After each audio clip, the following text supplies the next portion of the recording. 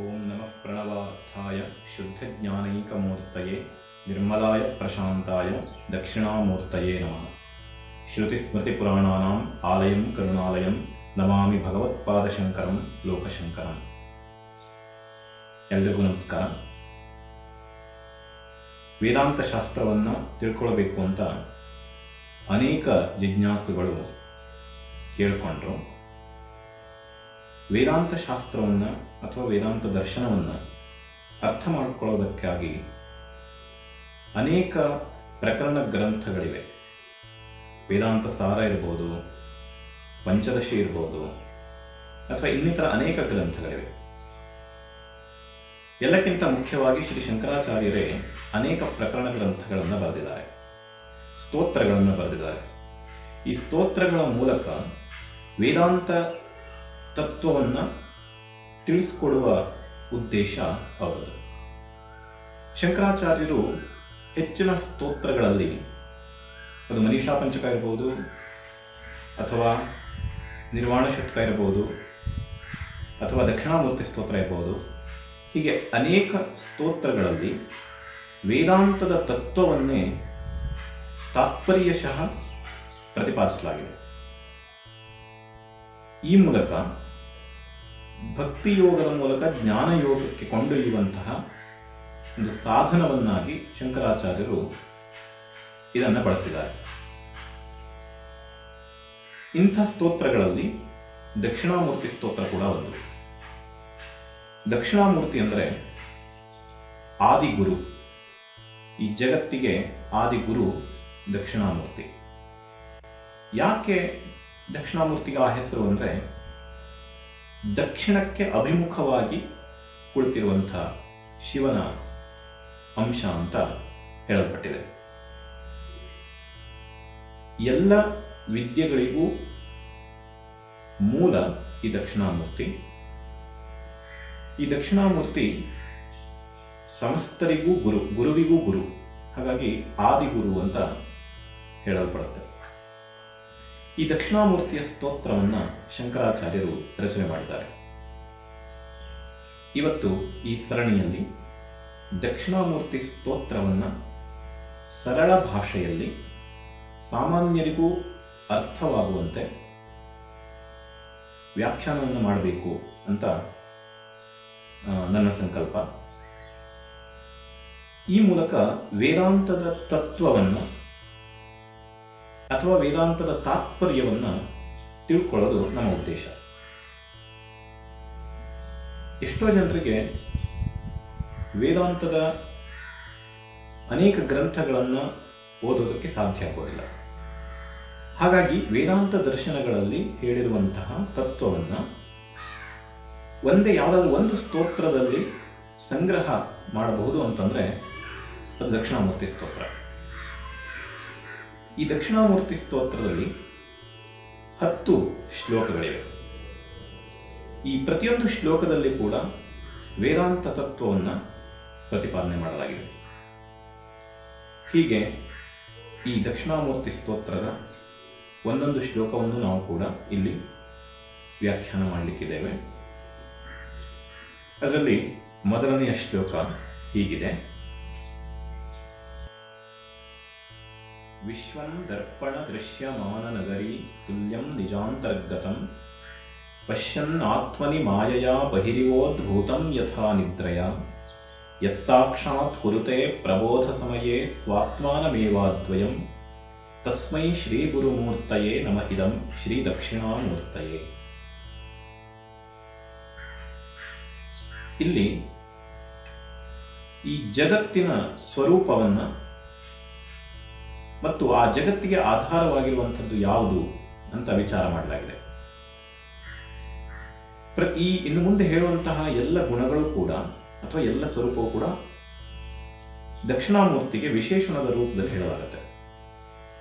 ತಸ್ಮೈ ಶ್ರೀ ಗುರುಮೂರ್ತಯೇ ನಮ ಇದಂ ಶ್ರೀ ದಕ್ಷಿಣಾಮೂರ್ತಯೇ ಅಂತ ಎಲ್ಲ ಪದ್ಯಗಳಲ್ಲೂ ಬರುತ್ತೆ. ಇಂತಹ ದಕ್ಷಿಣಾಮೂರ್ತಿಗೆ ನನ್ನ ನಮಸ್ಕಾರಗಳು ಅಂತ ಅರ್ಥ. ಎಂಥ ದಕ್ಷಿಣಾಮೂರ್ತಿ? ಹೇಗಿದ್ದಾನೆ ಆ ದಕ್ಷಿಣಾಮೂರ್ತಿ ಅಂದರೆ, ವಿಶ್ವಂ ದರ್ಪಣ ದೃಶ್ಯಮಾನ ನಗರೀತುಲ್ಯಂ ನಿಜಾಂತರ್ಗತಂ ಪಶ್ಯನ್ ಆತ್ಮನಿ ಮಾಯೆಯ ಬಹಿರಿವ ಉದ್ಭೂತಂ ಯಥಾ ನಿದ್ರೆಯ. ಇತ್ಯಾದಿ ಹೇಳಲಾಗಿದೆ. ಇದರ ಅರ್ಥವನ್ನು ನೋಡೋಣ. ವಿಶ್ವಂ ಅಂತ ಮೊದಲನೇ ಶಬ್ದ. ವಿಶ್ವ ಅಂದರೆ ಸಮಸ್ತ ಜಗತ್ತು. ಅಂದರೆ ದೃಶ್ಯವಾದಂಥದ್ದು. ಇಲ್ಲಿ ದೃಕ್ ದೃಶ್ಯ ಅಂತ ಎರಡು ವಿಭಾಗ. ಅಂದರೆ ನೋಡುವಂಥವನು. ದೃಕ್. ದೃಶ್ಯ ಅಂದರೆ ಅವನಿಂದ ನೋಡಲ್ಪಡುವಂಥದ್ದು. ಇಲ್ಲಿ ಜಗತ್ತಿನಲ್ಲಿ ಇರುವ ಎಲ್ಲ ಪದಾರ್ಥಗಳು ಕೂಡ ದೃಶ್ಯ ಪದಾರ್ಥಗಳು. ಇಂತಹ ಎಲ್ಲ ಪದಾರ್ಥಗಳಿಂದ ಅಥವಾ ವಸ್ತುಗಳಿಂದ ಕೂಡಿರುವಂಥದ್ದು ವಿಶ್ವ ಅಂತ ಹೇಳಲ್ಪಡುತ್ತೆ. ವಿಶ್ವ ಅಂದರೆ ಸಮಗ್ರ ಪ್ರಪಂಚ. ಕೇವಲ ಇದು ಸೂರ್ಯಮಂಡಲ ಅಂತನಲ್ಲ. ಈ ಸೂರ್ಯಮಂಡಲದ ಆಚೆ ಇರುವ ಎಲ್ಲ ಗ್ರಹ ನಕ್ಷತ್ರಗಳು ಮತ್ತು ಅಲ್ಲಿ ಏನಾದರೂ ಜೀವ ಸಂಕುಲವಿದ್ದರೆ ಅದು ಕೂಡ ಸಮಗ್ರ ಪ್ರಪಂಚ. ಸಮಗ್ರ ವಿಶ್ವ. ಈ ವಿಶ್ವ ಹೇಗಿದೆ ಅಂದರೆ ದರ್ಪಣ ದೃಶ್ಯಮಾನ ನಗರೀ ತುಲ್ಯಂ ದರ್ಪಣ ಅಂದ್ರೆ ಕನ್ನಡಿ. ದರ್ಪಣ ದೃಶ್ಯಮಾನ ನಗರಿ ತುಲ್ಯಂ. ಅಂದ್ರೆ ಕನ್ನಡಿಯಲ್ಲಿ ಹೇಗೆ ಕಾಣುವಂತಹ ಒಂದು ನಗರದಂತೆ ಇದೆ. ಅಂದ್ರೆ ಕನ್ನಡಿಯಲ್ಲಿ ಪ್ರತಿಬಿಂಬಿತವಾದಂತಹ ನಗರಿ, ಅದು ಹೇಗೆ ಸತ್ಯವಲ್ಲವೋ ಅಥವಾ ಮಿಥ್ಯಾಸ್ವರೂಪವಾದದ್ದೋ ಹಾಗಿದೆ ಈ ವಿಶ್ವ, ಈ ಜಗತ್ತು. ಅರ್ಥಾತ್ ಇಲ್ಲಿ ಕಾಣುತ್ತಿರುವಂತಹ ಪ್ರಪಂಚದಲ್ಲಿ ಸತ್ಯತ್ವ ಇಲ್ಲ ಅನ್ನೋದನ್ನು ಪ್ರತಿಪಾದನೆ ಮಾಡಲಿಕ್ಕೆ ಅಥವಾ ಮಿಥ್ಯಾತ್ವ, ಮಿಥ್ಯಾಭೂತವಾದಂತಹ ಪ್ರಪಂಚ ಅಂತ ಹೇಳಲಿಕ್ಕೆ ದರ್ಪಣ ದೃಶ್ಯಮಾನ ನಗರಿ ತುಲ್ಯಂ ಅಂತಂದರು ಈ ಪ್ರಪಂಚ, ಇಂತಹ ಪ್ರಪಂಚಕ್ಕೆ ಆಶ್ರಯವಾದದ್ದು ಯಾವುದು? ಅಂದರೆ ಬ್ರಹ್ಮರೇ. ವೇದಾಂತದ ತತ್ವ ಇದು. ಸಕಲ ದೃಶ್ಯಮಾನ ಪ್ರಪಂಚವು ಮಿಥ್ಯ, ಕೇವಲ ಬ್ರಹ್ಮ ಮಾತ್ರ ಸತ್ಯ ಅಂತ. ಬ್ರಹ್ಮ ಸತ್ಯಂ ಜಗನ್ ಮಿಥ್ಯಾ, ಜೀವೋ ಬ್ರಹ್ಮೈವ ನಾಪರ ಇದು ವೇದಾಂತದ ಪ್ರತಿಪಾದ್ಯವಾದಂತಹ ವಿಷಯ. ಜಗತ್ತು ಮಿಥ್ಯ. ಹಾಗಿದ್ರೆ ಈ ಜಗತ್ತಿನ ಆಶ್ರಯವಾದಂಥದ್ದು ಯಾವುದು ಅಂದರೆ ಸಚ್ಚಿದಾನಂದ ಸ್ವರೂಪವಾದಂತಹ ಬ್ರಹ್ಮ ಚೈತನ್ಯ, ಅಂದರೆ ಅಖಂಡವಾದಂತಹ ಚೈತನ್ಯದಲ್ಲಿ ಈ ಅಚೇತನ ಜಗತ್ತು ಆಶ್ರಿತವಾಗಿದೆ ಅಂತಲೂ ಹೇಳ್ಬೋದು. ಅದಕ್ಕಿಂತ ಹೆಚ್ಚಾಗಿ ಕಲ್ಪಿತವಾಗಿದೆ ಅಂತ ಹೇಳ್ಬೋದು. ಕಲ್ಪಿತ ಅಂದರೆ ಏನು ಅಂದರೆ ವಸ್ತುತಃ ಇಲ್ಲ, ಆದರೆ ಇದ್ದಂತೆ ತೋರುತ್ತೆ. ಕಲ್ಪಿತ ಅನ್ನೋ ಶಬ್ದವನ್ನು ಇಂಥ ಸ್ಥಳಗಳಲ್ಲಿ ಬಳಸ್ತೇವೆ. ಹೇಗೆ? ಭ್ರಮವಶಾತ್ ನಮಗೆ ದಾರಿಯಲ್ಲಿ ಹೋಗ್ತಾ ಇರುವವರಿಗೆ ಹಗ್ಗದಲ್ಲಿ ಹಾವು ಕಾಣುತ್ತೆ. ಅಲ್ಲಿ ಕಂಡಂತಹ ಹಾವು ಇದೆಯಾ ಅಂತಂದ್ರೆ ವಸ್ತುತಃ ಇಲ್ಲ. ಹಾಗಿದ್ರೆ ಕಂಡಿದ್ದೇನು? ಹಾವು ಕಂಡಿದೆ. ಹಾವಿನಂತೆ ಕಂಡಿದೆ. ಹಾಗಿದ್ರೆ ಕೇವಲ ಆಭಾಸ ಮಾತ್ರ ಆಗುತ್ತೆ. ಅಂದ್ರೆ ಇದೆ ಅಂತ ಅನಿಸುತ್ತೆ, ಆದರೆ ವಸ್ತುತಃ ಅದು ಇರುವುದಿಲ್ಲ. ಇಂಥ ಸ್ಥಳಗಳಲ್ಲಿ ಕಲ್ಪಿತ ಅನ್ನೋ ಶಬ್ದವನ್ನು ಬಳಸ್ತೇವೆ. ಪ್ರಪಂಚ ಕೂಡ ಕಲ್ಪಿತವಾದದ್ದು. ಎಲ್ಲಿ ಅಂದ್ರೆ ಆತ್ಮನಲ್ಲಿ. ನಿಜಾಂತರ್ಗತಂ ಅಂತ ಹೇಳೋದು. ಈ ಜಗತ್ತು ನಿಜಾಂತರ್ಗತಂ. ಅಂದ್ರೆ ನಿಜ ಅಂದ್ರೆ ತನ್ನ ಅಂತರ್ಗತಂ ಅಂದ್ರೆ ಒಳಗಿರುವಂಥದ್ದು. ತನ್ನ ಒಳಗೆ ಈ ಪ್ರಪಂಚ ಇದೆ. ಹೇಗೆ ಒಳಗಿದೆ ಅಂದ್ರೆ ಆತ್ಮನಿ ಇದೆ, ಆತ್ಮನಲ್ಲಿದೆ. ಪಶ್ಯನ್ ಆತ್ಮನಿ ಮಾಯಯ. ಹೇಗೆ ಈ ಜಗತ್ತು ಆತ್ಮನಲ್ಲಿ ಇದೆ ಅಂದರೆ ಅದಕ್ಕೆ ಕಾರಣ ಯಾವುದು ಅಂದರೆ ಮಾಯಾ. ಮಾಯಾ ಕಾರಣ ಅದಕ್ಕೆ ಅಜ್ಞಾನವೇ ಕಾರಣ. ಅಜ್ಞಾನವಶಾತ್ ನಮಗೆ ಈ ಜಗತ್ತು ತೋರುತ್ತೆ. ಇಲ್ಲದೇ ಇರುವಂತಹ ಜಗತ್ತು, ವಸ್ತುತಃ ಇಲ್ಲದೇ ಇರುವಂತಹ ಜಗತ್ತು ಕಲ್ಪಿತವಾಗುತ್ತೆ, ತೋರುತ್ತೆ. ಹೀಗೆ ಪಶ್ಯನ್ ಆತ್ಮನಿ ಮಾಯೆಯ ಬಹಿರಿವ. ಅದು ಹೇಗೆ ತೋರುತ್ತೆ? ಒಳಗಿರೋದು ನಾವು ಒಳಗಿದೆ ಅಂತಾದ್ರೆ ಹಾಗಿದ್ರೆ ಈ ಜಗತ್ತು ಒಳಗೆ ತೋರಬೇಕಿತ್ತಲ್ವ? ಹೊರಗೆ ತೋರುತ್ತೆ ಅಂದ್ರೆ ಈ ಹೊರಗೆ ತೋರುವಿಕೆಯೇ ಅದರ ಮಿಥ್ಯಾತ್ವವನ್ನು ಹೇಳುತ್ತೆ. ಅರ್ಥಾತ್ ಒಳಗಿರುವ ಪದಾರ್ಥ, ಒಳಗಿರುವಂಥದ್ದು ಒಳಗೂ ಕೂಡ ಇಲ್ಲ. ಆದರೆ ಒಳಗೆ ಕಲ್ಪಿತವಾಗಿದ್ದಂಥದ್ದು ಹೊರಗೆ ತೋರ್ಪಡುತ್ತೆ. ಹೇಗೆ ಅಂದರೆ ಮನುಷ್ಯನಿಗೆ ಮೂರು ಅವಸ್ಥೆಗಳಿವೆ. ಜಾಗೃತ್ ಸ್ವಪ್ನ ಮತ್ತು ಸುಷುಪ್ತಿ ಅಂತ. ಜಾಗೃತ ಅವಸ್ಥೆಯಲ್ಲಿ ನಮಗೆ ಈ ಸಕಲ ಪ್ರಪಂಚವು ಕೂಡ ಕಾಣುತ್ತೆ. ಸ್ವಪ್ನಾವಸ್ಥೆ ಅಂತ ಒಂದಿದೆ. ನಿದ್ರೆಯ ಆರಂಭದ ಅವಸ್ಥೆ ಅದು. ಗಾಢವಾದ ನಿದ್ರೆಯಲ್ಲಿ ಏನು ನಮಗೆ ಭಾಸವಾಗೋದಿಲ್ಲ. ಅಲ್ಲಿ ಯಾವ ಜ್ಞಾನವು, ಅಂದರೆ ನಾನಿದ್ದೇನೆ ಅನ್ನುವಂಥ ಒಂದು ಜ್ಞಾನವನ್ನು ಬಿಟ್ಟರೆ ನನ್ನ ಜ್ಞಾನವನ್ನು ಬಿಟ್ಟರೆ ಅಥವಾ ಸುಖದ ಜ್ಞಾನವನ್ನು ಬಿಟ್ಟರೆ ಮತ್ತೆ ಯಾವ ಜ್ಞಾನವೂ ಆಗೋದಿಲ್ಲ. ಹೊರಗಡೆ ಮಳೆ ಬಂತೋ, ಅಥವಾ ಹೊರಗಡೆ ಯಾವುದೋ ಒಂದು ವಾಹನ ಸಂಚರಿಸ್ಕೊಂಡು ಹೋಯಿತು ಯಾವ ಶಬ್ದವೂ ಕೂಡ ನಮಗೆ ಶಬ್ದವಾಗಲಿ, ಸ್ಪರ್ಶವಾಗಲಿ ಯಾವ ಜ್ಞಾನವೂ ಕೂಡ ಸುಷುಪ್ತಿಯಲ್ಲಿ ಇರೋದಿಲ್ಲ. ಆದರೆ ಸ್ವಪ್ನದಲ್ಲಿ ಅನೇಕ ರೀತಿಯಾದಂತಹ, ಅಂದರೆ ಎಲ್ಲ ಜ್ಞಾನವೂ ಅಲ್ಲಾಗುತ್ತೆ. ಶಬ್ದ ಕೇಳುತ್ತೆ, ಸ್ಪರ್ಶನ ಅನುಭವ ಆಗುತ್ತೆ. ಹಾಗಿದ್ರೆ ಹೇಗೆ ಅನುಭವ ಆಯಿತು ಇಲ್ಲಿ? ನನ್ನ ಬಾಹ್ಯೇಂದ್ರಿಯಗಳು ಕಾರ್ಯರತ ಆಗಿಲ್ಲ, ವಿರತವಾಗಿದೆ. ನನ್ನ ಬಾಹ್ಯೇಂದ್ರಿಯಗಳ ಕೆಲಸ ಮಾಡ್ತಾ ಇಲ್ಲ.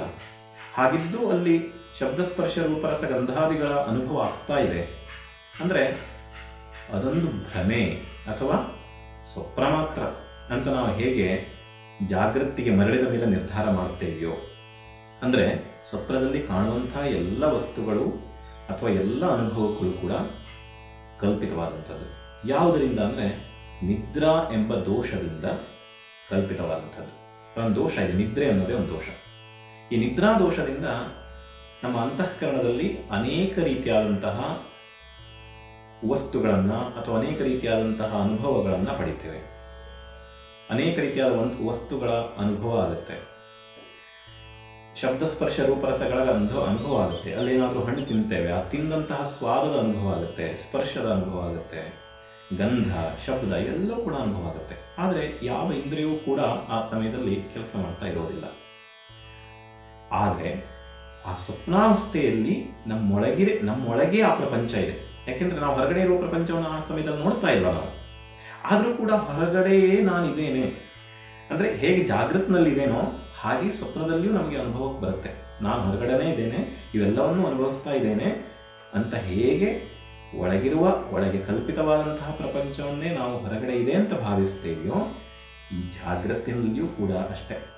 ಅಂದರೆ ಈ ಜಾಗೃತ್ ಕೂಡ ಅಥವಾ ಈ ಜಾಗ್ರತ್ನಲ್ಲಿ ಅನುಭವ ಆಗುವಂತಹ ಯಾವ ಬಾಹ್ಯ ಪ್ರಪಂಚವೂ ಕೂಡ ಸ್ವಪ್ನಕ್ಕೆ ಹೊರತಾದದ್ದಲ್ಲ. ಹಾಗಿದ್ರೆ ಜಾಗೃತ್ ಮತ್ತು ಸ್ವಪ್ನ ಇವೆರಡು ಸಮಾನವಾದಂಥದ್ದು. ಇದು ಹೇಗೆ? ಸ್ವಪ್ನ ಜಾಗೃತ ಅವಸ್ಥೆಯಲ್ಲಿ ಬಾಧಿತ ಆಗುತ್ತೆ. ಬಾಧಿತ ಅಂದರೆ ನಾವು ಯಾವಾಗ ನಿದ್ರೆಯಿಂದ ಎಚ್ಚರಗೊಳ್ತೇವೆಯೋ ಆವಾಗ ಆ ಸ್ವಪ್ನದಲ್ಲಿ ಕಂಡಂತಹ ಎಲ್ಲ ವಸ್ತುಗಳು ನಾಶವಾಗುತ್ತವೆ. ಮತ್ತೆ ಅವುಗಳ ಅನುಭವ ಆಗೋದಿಲ್ಲ. ಅಂದರೆ, ಓ ಇಷ್ಟೊತ್ತು ನಾನು ನೋಡಿದ್ದು ಸ್ವಪ್ನ ಮಾತ್ರ, ಅಂದರೆ ಭ್ರಮೆ ಮಾತ್ರ. ಅಂತ ಅನುಭವಕ್ಕೆ ಬರುತ್ತೆ. ಜಾಗತ್ನಲ್ಲಿ ಹಾಗಾಗೋದಿಲ್ವಲ್ಲ, ನಾನು ಮರಣವಾಗೋ ತನಕವೂ ಕೂಡ ಯಾವ ವಸ್ತುವಿಗೆ ಯಾವ ಹೆಸರೋ ಅದೇ ಹೆಸರು, ಅಥವಾ ಯಾವ ರೀತಿಯಲ್ಲಿ ಯಾವ ವಸ್ತುವನ್ನು ನಾವು ಕರಿತೇವೆಯೋ ನೋಡ್ತೇವೆಯೋ ಅದೆಲ್ಲದರ ಅನುಭವ ಅದೇ ರೀತಿ ಆಗ್ತಾ ಇರುತ್ತೆ. ಪ್ರಪಂಚವು ಕೂಡ ಇಲ್ಲ ಅಂತ ಅನುಭವಕ್ಕೆ ಬರೋದೇ ಇಲ್ಲ. ಹಾಗಿದ್ರೆ ಹೇಗೆ ಇದನ್ನು ನೀವು ಸ್ವಪ್ನಕ್ಕೆ ಸಮಾನ ಅಂತ ಹೇಳ್ತೀರಿ, ಸ್ವಪ್ನ ತುಲ್ಯ ಅಂತ ಹೇಗೆ ಹೇಳ್ತೀರಿ ಅಂದರೆ, ಸಮಗ್ರವಾದ ಪ್ರಪಂಚದ ದೃಷ್ಟಿಯಲ್ಲಿ ನೋಡಿದಾಗ ಅನಾದಿ ಕಾಲದಿಂದಲೂ ಕೂಡ ಈ ಪ್ರಪಂಚ ಉಳ್ಕೊಂಡು ಬಂದಿದೆ. ಅದರ ದೃಷ್ಟಿಯಲ್ಲಿ ನೋಡಿದಾಗ ನಮ್ಮ ಅಥವಾ ಈ ಪ್ರಪಂಚದ ಅಥವಾ ಈ ನಮ್ಮ ಜೀವಮಾನದ ಈ ಅನುಭವಗಳೇನಿದೆಯಲ್ಲ, ಇದು ಅತ್ಯಂತ ಅಥವಾ ಜಾಗದ ಅವಸ್ಥೆ ಏನಿದೆಯಲ್ಲ, ಅತ್ಯಂತ ಸಣ್ಣ ಒಂದು ಅವಧಿ ಇದು. ಸ್ವಪ್ನ ಎಲ್ಲೋ ನಾಲ್ಕು ಕ್ಷಣದಲ್ಲಿ ಬಂದ್ ಆಗಿ ತೀರ್ ಹೋಗುತ್ತೆ ಅಂತ ನಮಗೆ ಅನಿಸುತ್ತೆ. ಜಾಗೃತು ಕೂಡ ಅಷ್ಟೇ. ಈ ವರ್ಷಗಳು ಅಥವಾ ನೂರಾರು ವರ್ಷಗಳು ಅಂತ ನಾವು ಹೇಳ್ತೇವೆ ಇವು ಕೂಡ ಪ್ರಪಂಚದ ಆಯಸ್ಸಿನ ದೃಷ್ಟಿಯಲ್ಲಿ ಅತ್ಯಂತ ಕ್ಷಣಕಾಲ ಮಾತ್ರ. ಹಾಗಿದ್ರೆ ನಮ್ಮ ಅವಧಿಯಲ್ಲಿ ಇದು ನಾಶ ಆಗೋದಿಲ್ವಲ್ಲ, ನಮ್ಮ ಅನುಭವಕ್ಕೆ ಬರೋದಿಲ್ವಲ್ಲ, ಪ್ರಪಂಚ ಇಲ್ಲ ಅಂತ ಯಾವಾಗೂ ಆಗೋದಿಲ್ವಲ್ಲ ಅಂದ್ರೆ ಸ್ವಪ್ನದಲ್ಲಿಯೂ ಸ್ವಪ್ನದಲ್ಲಿ ಹಾಗಾಗೋದಿಲ್ವಲ್ಲ ನಮಗೆ? ಸ್ವಪ್ನದಲ್ಲಿ ಇದೆಲ್ಲ ಇದೆ ಅಂತಾನೆ ಅನಿಸುತ್ತೆ. ಸ್ವಪ್ನದಲ್ಲಿ ನಾಲ್ಕು ಒಂದೆರಡು ಕ್ಷಣಗಳ ಕಾಲ ಮಾತ್ರ ಅದರ ಅನುಭವ ಆದರೂ ಕೂಡ ಅಲ್ಲಿಯೇ ಬಾಲ್ಯ, ಯೌವನ, ವೃದ್ಧಾಪ್ಯದವರೆಗಿನ ಎಲ್ಲ ಅನುಭವಗಳು ಆದಂತೆ ಅನಿಸುತ್ತೆ. ಅಂದ್ರೆ ಅತಿ ದೀರ್ಘಕಾಲ ನಾನು ಈ ಸ್ವಪ್ನವನ್ನು ಕಂಡಂತೆ ಅನಿಸುತ್ತೆ, ಸ್ವಪ್ನದಲ್ಲಿ. ಆದರೆ ಯಾವಾಗ ಅದು ಬಾಧಿತ ಆಗುತ್ತೋ ಯಾವಾಗ ನಾನು ಎಚ್ಚರ ಆಗ್ತೇನೋ, ಆವಾಗ ಇಷ್ಟೊತ್ತು ಕಂಡಿದ್ದು ಸ್ವಪ್ನ ಭ್ರಮ ಮಾತ್ರ ಅಂತ ಅನುಭವಕ್ಕೆ ಬರುತ್ತೆ. ಇದು ಕೂಡ ಹಾಗೆ. ಜಾಗೃತ್ನಲ್ಲಿ ಕಾಣುವಂತಹ, ಅನುಭವಿಸುವಂತಹ ಎಲ್ಲ ಅನುಭವಗಳು ಕೂಡ ಜ್ಞಾನದವರೆಗೆ ಮಾತ್ರ. ಜ್ಞಾನ ಅಂದ್ರೆ ಏನು ಅಂದ್ರೆ ಆತ್ಮ ಸಾಕ್ಷಾತ್ಕಾರ ಆತ್ಮ ಸಾಕ್ಷಾತ್ಕಾರವಾಗುವವರೆಗೆ ಈ ಪ್ರಪಂಚದ ಅನುಭವ ಆಗ್ತಾ ಇರುತ್ತೆ. ಯಾವಾಗ ಆತ್ಮ ಸಾಕ್ಷಾತ್ಕಾರ ಆಗುತ್ತೋ, ಅಂದ್ರೆ ಈ ಜಗತ್ತಿಗೆ ಕಾರಣವಾದಂಥದ್ದು ಮಾಯೆ ಅಂತಂದ್ರು ಪೂರ್ವ, ಮೊದಲು. ಅಂದ್ರೆ ಮಾಯೆಯ ಅಂತ ಹೇಳಿದ್ರು. ಮಾಯೆಯಿಂದ ಈ ಜಗತ್ತಿನ ಅನುಭವ ಆಗುತ್ತೆ. ಆ ಮಾಯೆಯ ಯಾವಾಗ ನಾಶವಾಗುತ್ತೋ, ಆಗ ಈ ಜಗತ್ತಿನ ಅನುಭವ ಆಗೋದಿಲ್ಲ ಅಂದ್ರೆ ಕೇವಲ ಆತ್ಮ ಚೈತನ್ಯ ಮಾತ್ರ ಉಳ್ಕೊಳ್ಳುತ್ತೆ. ಅದನ್ನೇ ಮೋಕ್ಷ ಅಂತ ಹೇಳ್ತೇವೆ ನಾನು ಆತ್ಮ ಚೈತನ್ಯ ಮಾತ್ರ ಆಗಿರ್ತೀನಿ ಯಾವಾಗ? ಅದು ಮೋಕ್ಷಾವಸ್ಥೆ. ಯಾವಾಗ ಆಗುತ್ತೆ ಅದು ಅಂದರೆ ಎಚ್ಚರವಾದಾಗ? ಹೇಗೆ ಸ್ವಪ್ನ ಅನ್ನೋದು ಎಚ್ಚರವಾದಾಗ ನಾಶವಾಗುತ್ತೋ ಹಾಗೆ ಈ ಜಗತ್ತು ಕೂಡ, ಜಗತ್ತಿನ ಅನುಭವ ಕೂಡ ಎಚ್ಚರವಾದಾಗ, ಎಚ್ಚರ ಅಂದರೆ ಆತ್ಮ ಸಾಕ್ಷಾತ್ಕಾರವಾದಾಗ, ಜ್ಞಾನವಾದಾಗ ಆತ್ಮದ ಅನು- ಅನುಭವ ಮಾತ್ರ ಆಗುತ್ತೆ. ಆತ್ಮ ಭಿನ್ನವಾದಂತಹ ಅಚೇತನ ಪದಾರ್ಥಗಳ ಅನುಭವ ಆಗೋದಿಲ್ಲ. ಈ ಜಗತ್ತಿನ ಅನುಭವ ಕೂಡ ಆಗೋದಿಲ್ಲ. ಆ ಸಮಯದಲ್ಲಿ ಹಾಗಿದ್ರೆ ಏನು ಉಳಿಯುತ್ತೆ ಅಂದರೆ ಆತ್ಮ ಮಾತ್ರ. ಆ ಅಖಂಡ ಬ್ರಹ್ಮ ಇಡೀ ಜಗತ್ತಿಗೆ ಆಶ್ರಯವಾಗಿರುವಂತಹ ಅಥವಾ ಅಧಿಷ್ಠಾನವಾಗಿರುವಂತಹ ಯಾವ ಬ್ರಹ್ಮ ಚೈತನ್ಯ ಇದೆಯೋ ಅದು ಮಾತ್ರ ಉಳ್ಕೊಳ್ಳುತ್ತೆ ಹಾಗಾಗಿ ಪಶ್ಯನ್ ಆತ್ಮನಿ ಮಾಯೆಯ ಬಹಿರಿವ ಉದ್ಭೂತಂ ಯಥಾ ನಿದ್ರೆಯ. ಹೊರಗಡೆ ನಮ್ಮ ಮಾಯೆಯ ಕಾರಣ ನಮ್ಮ ಅಜ್ಞಾನದ ಕಾರಣದಿಂದಾಗಿ ಜಗತ್ತನ್ನು ಹೊರಗಡೆ ಇದೆ ಅಂತ ಭಾವಿಸ್ತೇವೆಯೋ ಅದು ಯಾವಾಗ ನಾಶ ಆಗುತ್ತೆ ಅಂದ್ರೆ ಈ ಹೊರ ಜಗತ್ತಿನ ಅನುಭವ. ಪಶ್ಯನ್ ಆತ್ಮನಿ ಮಾಯೆಯ ಬಹಿರಿವೋದ್ಭೂತಂ ಯಥಾ ನಿದ್ರೆಯ? ಯಸ್ ಸಾಕ್ಷಾತ್ ಕುರುತೆ ಪ್ರಬೋಧ ಸಮಯೇ. ಪ್ರಬೋಧ ಸಮಯದಲ್ಲಿ ಆತ್ಮನ ಸಾಕ್ಷಾತ್ಕಾರವಾದಾಗ ಈ ಹೊರ ಜಗತ್ತಿನ ಮಿಥ್ಯಾತ್ವ ಅನ್ನೋದು ಸಿದ್ಧಿಯಾಗುತ್ತೆ. ಮತ್ತು ಈ ಜಗತ್ತಿನ ಅನುಭವ ಕೂಡ ನಾಶವಾಗುತ್ತೆ. ಆಗ ಬ್ರಹ್ಮ ಚೈತನ್ಯದ ಅಖಂಡ ಚೈತನ್ಯದ ಅನುಭವ ಮಾತ್ರ ಆಗುತ್ತೆ. ಅದನ್ನೇ ಅಹಂ ಬ್ರಹ್ಮಾಸ್ಮಿ ಅಂತ ಉಪನಿಷತ್ತುಗಳು ಹೇಳ್ತವೆ. ಆ ಅನುಭವವನ್ನು ಶಬ್ದಗಳಲ್ಲಿ ಕಟ್ಕೊಡ್ತವೆ. ಆ ಅನುಭವವನ್ನು ಶಬ್ದಗಳಲ್ಲಿ ಹೇಳೋದು ಕಷ್ಟ. ಹಾಗಿದ್ದು ಕೂಡ ಶ್ರುತಿ ಅಹಂ ಬ್ರಹ್ಮಾಸ್ಮಿ ಅಂತ ಶಬ್ದಗಳಲ್ಲಿ ಆ ಅನುಭವವನ್ನು ವ್ಯಾಖ್ಯಾನ ಮಾಡಿದೆ. ಆ ಸಮಯದಲ್ಲಿ ಯಸ್ ಸಾಕ್ಷಾತ್ ಕುರುತೆ ಪ್ರಬೋಧ ಸಮಯೇ ಸ್ವಾತ್ಮಾನಮೇವಾದ್ವಯಂ ಸ್ವಸ್ಯ ಆತ್ಮ ಏವ ನನ್ನ ಆತ್ಮ ಮಾತ್ರ ಅಖಂಡವಾಗಿ ಉಳಿಯುತ್ತೆ. ಅದನ್ನೇ ಎಲ್ಲ ಜಗತ್ತಿಗೆ ಆಶ್ರಯವಾಗಿರುವಂತಹ ಈ ಅಖಂಡ ಚೈತನ್ಯ ಉಳಿಯುವಂತಹ ಅದು ಮಾತ್ರ ಉಳಿಯುವಂತಹ ಒಂದು ಅವಸ್ಥೆಯನ್ನೇ ಪ್ರಬೋಧಾವಸ್ಥೆ ಅಥವಾ ಜ್ಞಾನಾವಸ್ಥೆ ಆತ್ಮ ಸಾಕ್ಷಾತ್ಕಾರ ಅವಸ್ಥೆ ಅಂತ ಹೇಳ್ತೇವೆ. ಈ ಏನು ದಕ್ಷಿಣಾಮೂರ್ತಿ ಇದ್ದಾನೆ. ಈ ದಕ್ಷಿಣಾಮೂರ್ತಿ ಕೂಡ ಹೀಗೆ ಹೊರ ಜಗತ್ತಿನ ಮಿಥ್ಯಾತ್ವವನ್ನು ನಿಶ್ಚಯಿಸಿ ಜಾಗೃತಿನ ಅಥವಾ ಎಚ್ಚರದ ಅಥವಾ ಜ್ಞಾನದ ಅವಸ್ಥೆಯಲ್ಲಿ ಇದೆಲ್ಲವೂ ಕೂಡ ಮಾಯಿಕ ಅಂತ ಕಂಡುಕೊಂಡು ಕೇವಲ ಆತ್ಮದ ಅನುಭವವನ್ನು ಮಾತ್ರ ಅನುಭವಿಸುತ್ತಿರುವಂಥವನು. ಅಂತಹ ದಕ್ಷಿಣಾಮೂರ್ತಿಗೆ ನನ್ನ ನಮಸ್ಕಾರಗಳು ಅಂತ ಮೊದಲ ಶ್ಲೋಕದ ತಾತ್ಪರ್ಯ. ಇಲ್ಲಿ ಅನೇಕ ವಿಚಾರಗಳು ಬಂದಿವೆ. ಅಂದರೆ ವೇದಾಂತ ಶಾಸ್ತ್ರದ, ವೇದಾಂತ ದರ್ಶನದ ಪ್ರತಿಪಾದ್ಯ ಅಂಶಗಳು ಅನೇಕ ಬಂದಿದೆ ಅದು ಜಗತ್ತಿನ ಮಿಥ್ಯಾತ್ವ ಇರಬಹುದು ಬ್ರಹ್ಮ ಮಾತ್ರದ ಅದ್ವೈತ ಬ್ರಹ್ಮದ ಸತ್ಯ ಇರಬಹುದು ಸತ್ಯತ್ವ ಇರಬಹುದು ಜಾಗೃತ್ ಸ್ವಪ್ನ ಅವಸ್ಥೆಗಳಿರ್ಬೋದು, ಮತ್ತು ಈ ಜಗತ್ತು, ಜಗತ್ತಿಗೆ ಆಶ್ರಯವಾ ಆಶ್ರಯವಾಗಿರುವಂತಹ ಆತ್ಮಚೈತನ್ಯದ ವಿಷಯ ಇರಬಹುದು, ಅಧಿಷ್ಠಾನದ ವಿಚಾರ ಇರಬಹುದು, ಈ ಅನೇಕ ವಿಚಾರಗಳು ಇಲ್ಲಿ ತಾತ್ಪರ್ಯಶಃ ಬಂದಿವೆ. ಇದನ್ನು ಇನ್ನು ಮುಂದೆ ಕೂಡ ಬೇರೆ ಸಂದರ್ಭಗಳಲ್ಲಿ ಇದರ ವ್ಯಾಖ್ಯಾನವನ್ನು ಇನ್ನಷ್ಟು ಮಾಡೋಣ. ನಮಸ್ಕಾರ.